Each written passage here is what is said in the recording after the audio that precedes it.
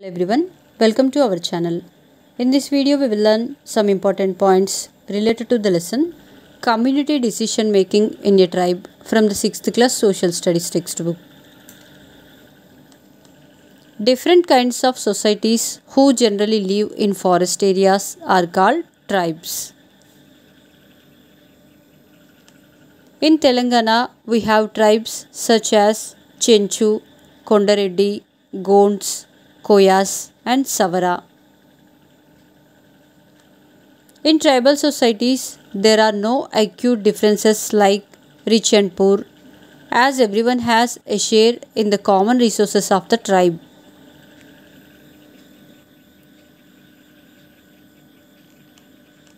Generally, all the families of a tribe do all kinds of work like cultivation, gathering food from the forests, grazing animals, and making clothes, baskets, tools, etc. In many tribes, men have greater power and role in decision making than women. Scholars called anthropologists have been studying the tribal people.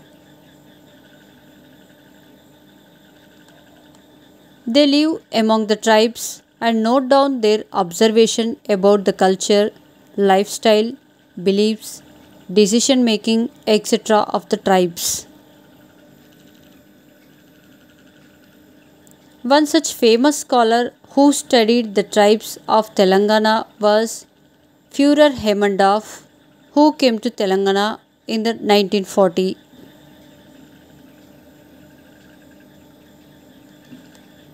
Haimendorf studied the Chenchu, the Kondareddy and Gonds and wrote books about them.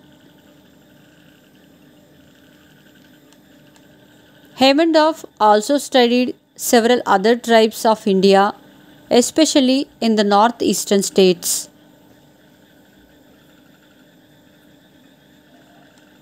The village headmen derive their authority from the village panch or the council of adult male householders.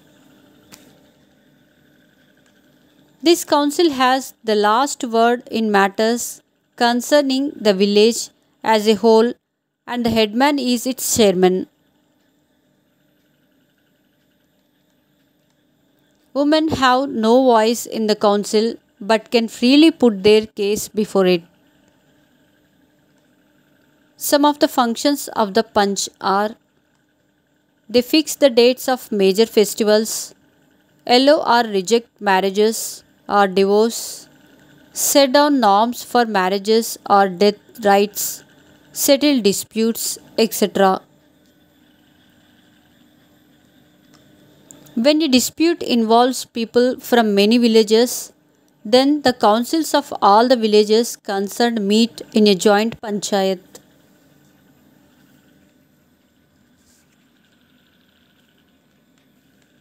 Every village has a headman or patla who is generally hereditary. The headman is from the family of the person who had led the formation of the village in the beginning.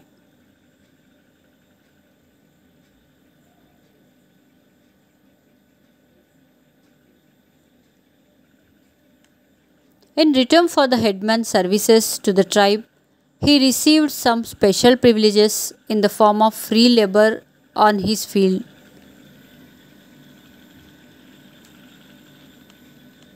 The main function of the patla is to ensure the unity of the villagers and negotiate with the outsiders and government agencies on behalf of the villagers. Whenever a headman becomes arrogant and goes against the wishes of the people, the panch may remove him and replace him with another person.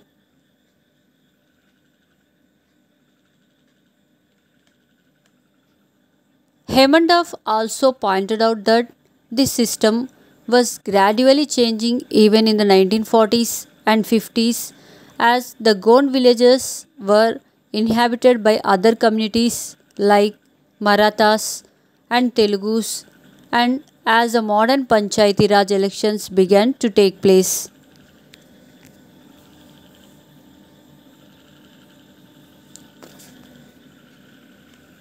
The headmen lost their position of importance with the election of sarpanches through direct elections.